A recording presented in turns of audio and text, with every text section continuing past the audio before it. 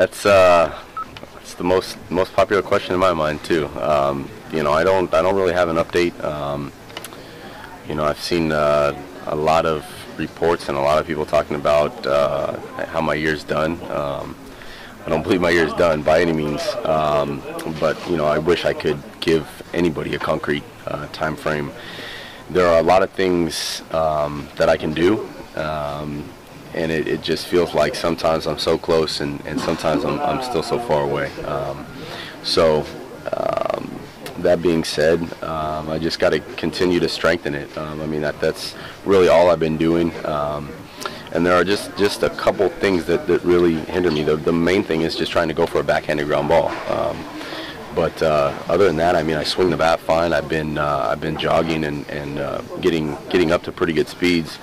Um, and none of that uh, really bothers me. But again, you know, there's just a couple things that, that bother me, and um, you know, I, I really hate having to tell people that I don't know, um, but it's it's the truth. I, I, really I really can't give anybody a date.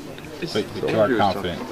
But you are confident you'll play again this season. Yeah, yeah. I mean, uh, that would really suck. That would really really suck. I mean, that's the really the only response I have for that question. Um, you know, I can I can be sincere and say that um, you know, I, I don't think that the year is over with. Um, nobody's told me that. I haven't told myself that. Um, and so uh, I just continue to push forward and hopefully, um, you know, whether it's in two days, two weeks, or, you know, two months, at, at some point, um, I'll be able to play again. And, um, you know, I just got to try and stay uh, as, as positive and as, as confident as I can.